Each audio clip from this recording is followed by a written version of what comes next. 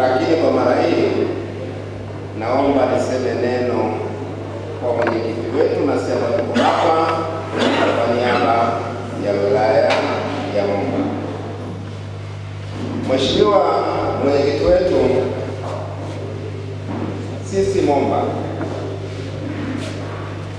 tunayo furaha tele kwa kupata wewe. Sisi Momba, najua mji wetu ni mji wa siasa kwelikweli. Ukitazama siasa ambazo ziko mkoa wa Songwe kwa ujumla wake, unaweza ukasema asilimia sabini za mihemko ya siasa ambayo iko mkoa wa Songwe zinatokea Momba, lakini hasa pale. Kwa hiyo jambo kuu ambalo tunakuomba kwa upekee sana na tena kwa kuwagusa ndugu zangu wa Ileje kwamba mwenyekiti tuliyempata si mwenyekiti wa Ileje bali ni mwenyekiti wa Songwe. Tumpe nafasi, tumwombe, na sehemu kubwa anapokwenda kubeba majukumu yake, na waombeni sana, mwombeni wetu azidi kuitazama Tunduma yetu. Mheshimiwa Mwenyekiti, nakuomba sana, Tunduma kama Tunduma, mimi kama mwenyekiti wa halmashauri na kama mjumbe wa kamati ya siasa ya wilaya ya Momba, mjumbe wa halmashauri mkoa, siwezi kusema kwamba tukae tu tuangalie. Hapana, pana jambo la ziada kufanya nazijua siasa za pale zinabadilika mara kwa mara.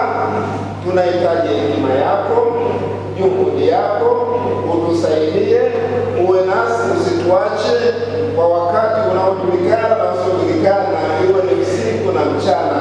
Mwenyekiti wako nakuomba sana, lakini pia mwenyekiti wangu, ni kuombe sana, pamoja na siasa ambazo tuko nazo pale Tunduma tunahitaji kujenga ndani ya chama na nje ya chama kwa ujumla wake.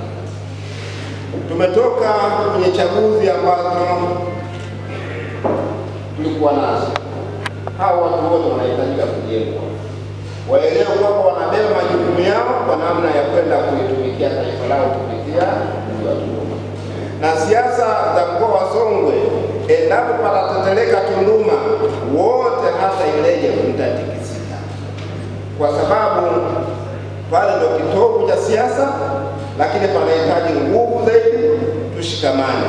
Na leo hii sijajua mwenzenu, nilitegemea jambo hili la kihekima na la kibaraka zaidi, wengi tungefika tuje tusemezane tunapofika tunakaa wawili watatu kwa jambo jema, tunaumba kitu kingine cha baraka katika safari yetu.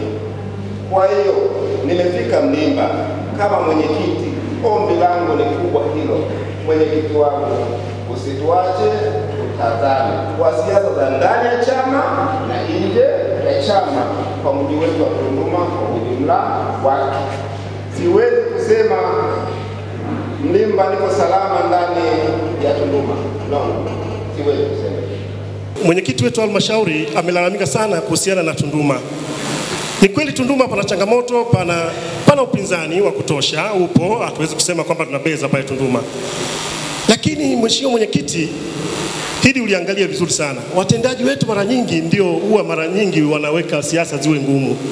Pale Tunduma mwaka elfu mbili na kumi alipita mtu mmoja anaitwa Cheyo kutoka Ileje, lakini jamii nyingine ikawa imtaki cheo anini apite kwenye kura za maoni, agombee udiwani. Ndipo ulipoanza upinzani pale kwa nguvu zote. Mimi nikiwa nimeachia udiwani, nimeenda kugombea ubunge. Kwa Tunduma pale, ninakuhakikishia sisi tutashinda, tutashinda kwa sababu tutashikamana. Kinachotakiwa madiwani, pigeni kazi kwa kwenda mbele, pigeni kazi, alafu sisi sasa tunakuja. Siwezi kukubali mimi mneki wa hal, mjumbe wa neki halmashauri, mjumbe wa halmashauri kuu ya taifa, alafu Tunduma pale tuanguke.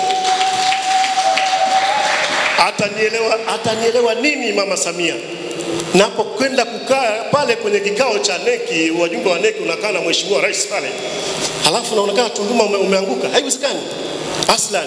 Hatuwezi kutumia nguvu kama zile zamani, tulikuwa tunatumia nguvu sijui kunyang'anya nyang'anya. Ah, Tutakwenda kwa hoja, tutawaambia wananchi kwa hoja zetu, kama unavyoona mheshimiwa rais, miradi aliyoleta pale Tunduma ni mikubwa. Kwani tusiwaambie watu? Kwani tusiwaeleze watu? Kwani watu hawaoni? Watu wanaona. Kwa hiyo hata mwenyekiti wa halmashauri akisema kwamba tunajenga tunafanya hivi, lakini watu wanaonekana kama hawaioni.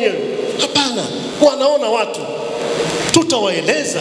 Mwenyekiti wa halmashauri, siwe na hofu, tutawaambia, tutawaonyesha kila kitu. Anaona magorofa yanajengwa pale, lami zinajengwa pale. Kwa nini tushindwe CCM? CCM lazima iwe ya kijani. CCM oye!